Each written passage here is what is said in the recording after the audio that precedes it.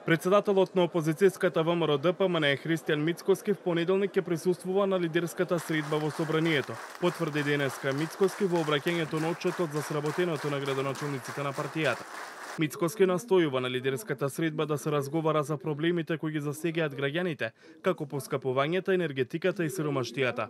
Во исто време ги повтори ставовите за уставни измени и за потребата од избори. Ке присуствувам на таква средба затоа што имаме ставови и сме подготвени да ги браниме на секаде во светот. Најреалната причина за која една лидерска средба би имала содржина се разговор за реалните проблеми на народот кој е гладен, а чиј излез знаеме и тука ние и целата јавност се предвремени парламентарни избори. А што се несува за уставните измени, тоа прашање е затворена тема. Затоа што уставни измени нема да има под овие околности и без гаранции за нашата европска иднина, заштитени од инни условувања од Бугарија.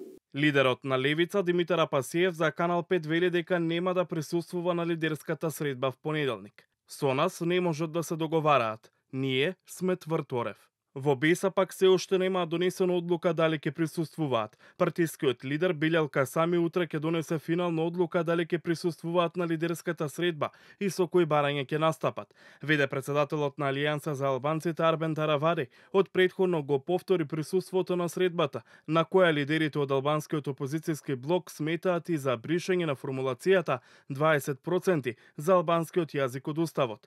Лидерската средба ќе се одржи в понеделник на во собранието земјето. Според официјалната најава, главен фокус на средбата треба да биде европската иднина на Македонија и градење широк консензус за уставните измени.